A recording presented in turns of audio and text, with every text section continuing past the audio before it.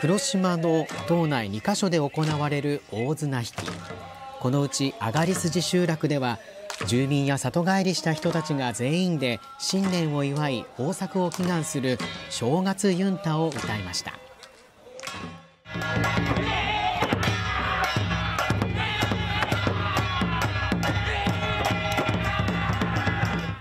続いて鎌と槍を手にした2人の若武者が勇壮な立ち回りを披露し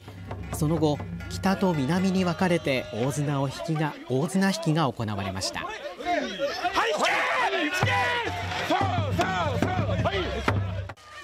今年の勝負は豊作になると言われている南に軍配が上がりました。